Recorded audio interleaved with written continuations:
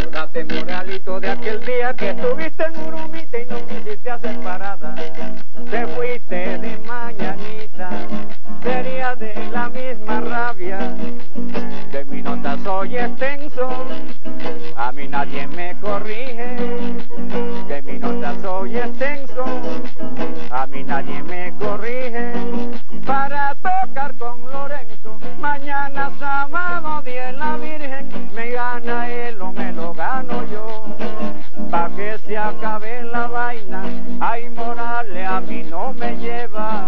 porque no me da la gana, me gana él o me lo gano yo.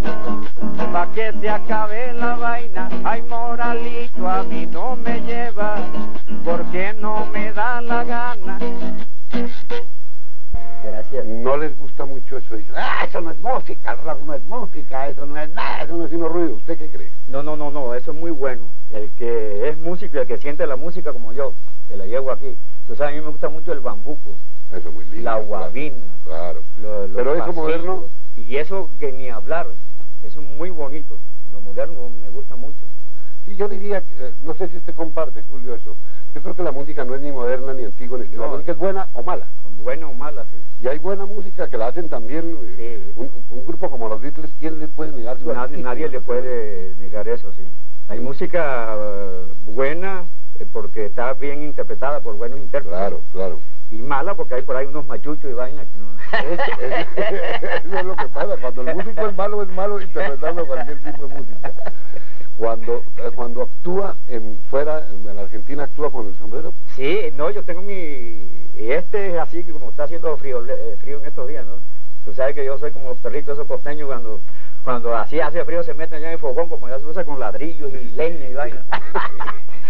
Yo tengo guayaberas y todo eso, y el sombrero, el mochila, la mochila, donde mete el campesino los tabacos, el- la panela, todo eso. Y te cuento yo una vez, eh, cuando salimos en gira la primera vez en Cartagena, me acuerdo, nosotros no teníamos ni cinco, más barato que carajo. Entonces nos encontramos con un man ahí que se hizo un amigo, como llevamos la guitarra, nos hizo tocar, y dice, bueno muchachos, yo, yo les doy ahí la cena y, y los llevo a dormir, ¿sí? Y yo digo, bueno, está bien, le pusimos serenata, cenamos, nos llevó, resulta que era carpintero, y había unos cajones muertos ahí sin pintar ni nada vaina. Y como eh, allá en, que en Cartagena ya se hace frío de noche, nosotros nos clavamos ahí en los cajones, eso no jode.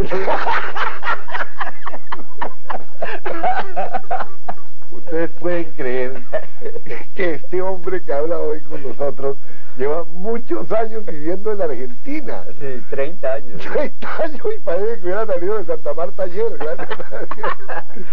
Y que este hombre fue el que hizo popular melodías como esta. A ver, Sí.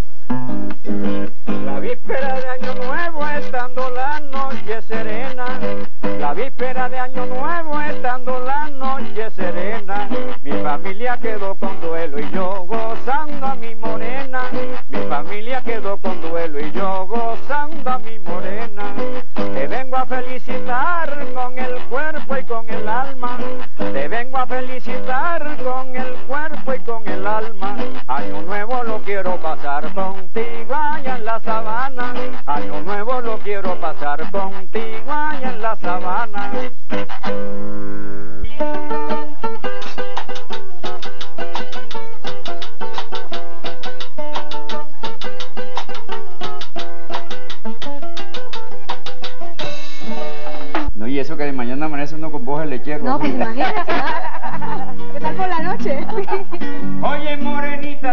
a quedar muy sola porque anoche dio el radio que abrieron el liceo.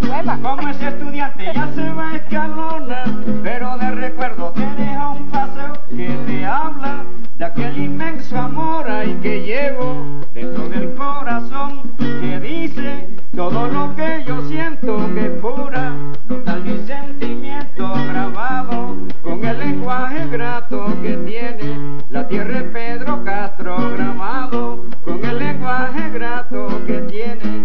Pedro Castro. No. Bueno, es- pa- para mí no es difícil. Usted talla la madera y todo. Eso sí, eso claro que ya venden las maderas de- calibradas casi. Ya viene el molde. Y eso viene, yo las compro importadas. Hay una madera muy buena, el palo santo y el pino alemán.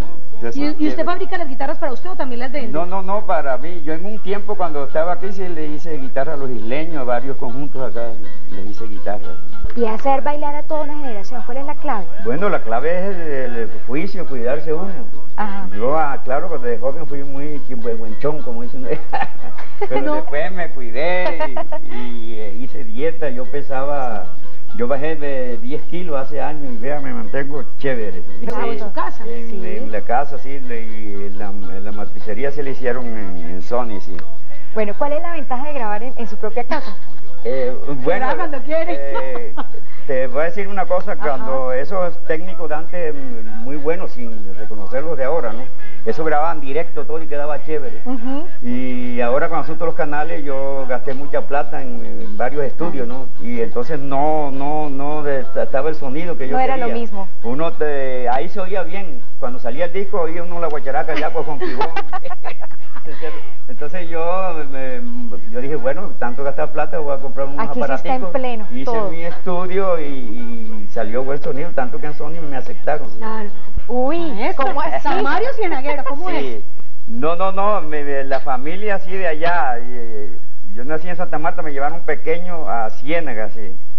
Y, y yo, este, mucha gente cree que soy cienaguero y yo eh, una vez hicimos, con unos de la televisión, estuvimos en Ciénaga, en todas las parroquias y no aparece nada de... de, de- de- de- ¿Cómo le parece? Ya, está- ya se están peleando. Claro, a mí me, su me, me lugar. duele en el alma y quiero que me ayuden también, que averigüen. buenísimo. Primeros países donde yo fui, grabé allá Puerto Rico, sí. Allá yo grabé para disco, creo que Mar- Marvela, un sello, bueno, no me acuerdo bien. Y en Venezuela también. Y últimamente donde me afiancé y gusta mucho mi música, eh, el nombre mío lo dejé bien chévere allá en la Argentina. sí. Maestro, ¿le hace mucha falta a su familia? Claro. ¿Usted vive solo acá en Bogotá? Eh, estoy solo, pero eh, los llevo aquí en el, en el corazón. Y en no el ha decidido alma. buscar una compañía por ahí. Que era lo que usted me decía ahorita que por qué no. ¿Ah? Que por qué no conseguía una novia. No, que mejor andar solo que mal acompañado. El costeño que no vendía los aguacates y, puso ahí, se agarró en la plaza y dice, bueno, aguacate dietético, empezó la gente a comprar. Maestro, podríamos decir que, que tal vez la vida ha sido un poco injusta y usted hasta ahora está como recogiendo los frutos de lo que ha trabajado durante 40 años. Claro, porque antes eh, eh, uno luchaba antes y no le pagaban así mayor cosa. Ya, los artistas de ahora sí han agarrado la época buena, sí. Claro. todos millonadas y tal, pero uno paga un millón, bueno, ni en película. Pero ahora le invitan a hacer sus shows. Sí, ahora sí, mi show. y Yo trabajo mucho, estoy trabajando mucho afuera de, de aquí de Bogotá, en Cali, en Medellín, en la costa, en- por todos los llanos orientales. Que nunca nos despedimos, maestro. Bueno, con la despedida será, ¿no? La despedida Maestro, de verdad ha por el maestro placer. Julio Boveda.